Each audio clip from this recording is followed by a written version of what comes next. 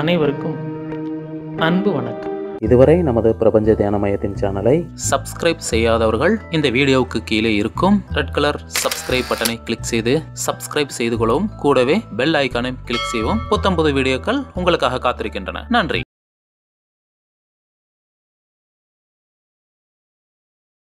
இப்போ நம்ம ஆன்மீகத்தில் இருக்கிறவங்களுக்கு எல்லாருக்குமே இந்த வார்த்தை தெரியும்.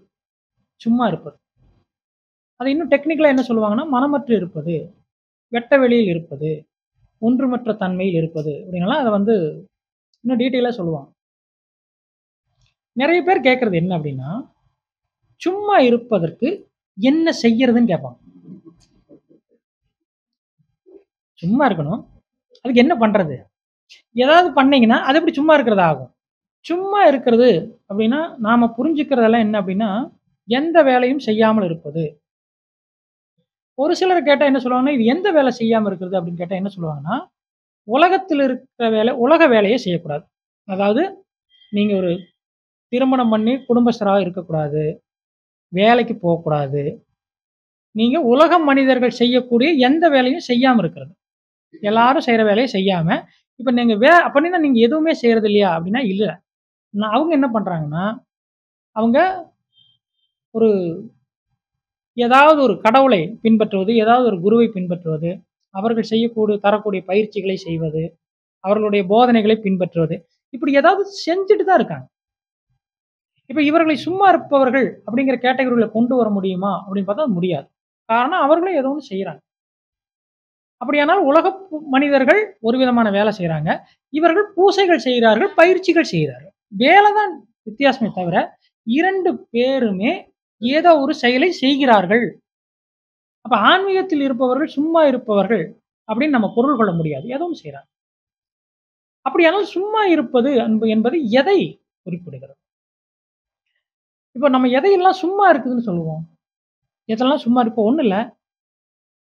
இப்போ ஒரு கணவர் வேலைக்கு போறாரு. மனைவி வீட்டில் இருக்காங்க. இப்போ யாரோ ஒருத்தர் வந்து கேட்குறாங்கன்னு வச்சுக்கோங்க மனைவியை. என்ன பண்றீங்க அப்படின்னா நான் வீட்டில் சும்மா தான் இருக்கேன்பா ஆனால் அந்த மனைவி வீட்டில் சும்மாவா இருக்கா? எல்லா வேலைகளையும் பார்க்குறா அவருடைய அன்றாட கடமைகளை குழந்தைகளுக்கு கணவருக்கு வீட்டுக்கு செய்ய வேண்டியது எல்லாம் செய்கிறா ஆனால் சொல்லும்போது என்ன சொல்றா? சும்மா இருக்கேன்னு சொல்கிறா ஏன் அப்படி சொல்றா? ஏன் அப்படி சொல்றா அப்படின்னா கணவர் வெளியே போய் ஒரு வேலை செய்கிறார் அந்த வேலை செய்வதற்கு ஒரு நோக்கம் இருக்கு. அந்த நோக்கம் என்ன அப்படின்னா தன்னுடைய குடும்பத்திற்கு பணம் வேண்டும் அப்படிங்கிற நோக்கத்திற்காக ஒரு மனிதர் வேலை செய்கிறார். இப்போ இவர் வேலை செய்கிறார் ஒரு மனைவி எல்லா வேலையும் செய்கிறா ஆனா எதுவும் செய்யல சும்மா இருக்கேன்னு சொல்றா. அப்போ என்ன அர்த்தம்னா இந்த மனைவி எந்த நோக்கத்துக்காகவும் அந்த செயலை செய்யல. எந்த நோக்கத்துக்காகவும் யாராவது பாராட்டுவாங்க இல்லை யாராவது பணம் கொடுப்பாங்கன்னு அந்த மனைவி அந்த செயலை செய்யறதில்ல. எனவே அவன் என்ன செய்யறான்னா எல்லாத்தையும் செய்து விட்டு நான் சும்மா இருக்கிறேன்னு சொல்றான் ஒரு கணவர் எந்த வேலையும் செய்யறதில்ல. ஆபீஸுக்கு மட்டும் போய் வேலை செஞ்சுட்டு வர்றாரு. ஆனால் அவரை நாம் வேலைக்கு போவார் இன்னும் சொல்ல போனா அங்க போய் அவர் மேனேஜரா இருந்து எந்த வேலையும் செய்யாம கூட வரலாம். சும்மா வேடிக்கை பார்த்துட்டு கூட வரலாம். சூப்பர்வைசர் வேலை என்ன வேலை வேடிக்கை பார்க்கறது தானே? அந்த வேலையை செஞ்சுட்டு வந்தாலும் நாம் அவர் என்ன சொல்றோம்? வேலைக்கு போவார்னு சொல்றோம். காரணம் என்னன்னா அவர் செய்யும் வேலையில் ஒரு நோக்கம் இருக்கிறது. மனைவி செய்யக்கூடிய வேலையில் நோக்கம் இல்லை எதிர்பார்ப்பு இல்லை. எனவே இந்த அடிப்படையில் புரிஞ்சுக்கிட்டீங்கன்னா எந்த ஒரு செயலையும் ஏதோ ஒரு நோக்கத்திற்காக ஏதோ ஒன்று உங்களுக்கு கிடைக்கும் என்பதற்காக செய்தால் நீங்கள் வேலை செய்கிறீர்கள். நீங்கள் இந்த உலகத்திற்கு எல்லா வேலையும் செய்யலாம். ஆனா ஒரு மனைவிக்கு அந்த குடும்பத்தில் இருக்கக்கூடிய வேலையெல்லாம் கடமைகள்.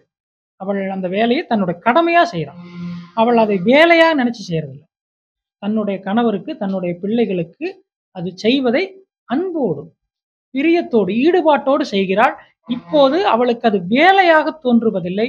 சும்மா இருப்பதாகும் எனவே இந்த உலகத்தில் இருக்கக்கூடிய எல்லா செயல்களையும் நீங்கள் செய்யலாம். ஆனால் இது நான் இறைவனுக்காக செய்கிறேன் என்ற எண்ணத்தோடு யார் செய்தாலும் அவர்கள் வேலை செய்பவர்கள் அல்ல சும்மா இருப்பவர்கள். யாரெல்லாம் இது என்னுடைய குடும்பத்துக்காக என்னுடைய பிள்ளைக்காக என்னுடைய சந்ததிக்காக நான் செய்கிறேன் நான் செய்கிறேன் நான் மற்றவர்களுக்கு செய்கிறேன் என்ற எண்ணத்தில் நீங்கள் எதை செய்தாலும் உதாரணமா நான் உங்களுக்கு ஒரு குருவா இருக்காரு ஒரு குரு நான் இதை உங் என்னுடைய சீடர்களுக்கு நான் சொல்கிறேன் அப்படின்னு சொன்னாலும் அந்த குரு சும்மா இருப்பவர் அல்ல அவர் வேலை செய்கிறார்.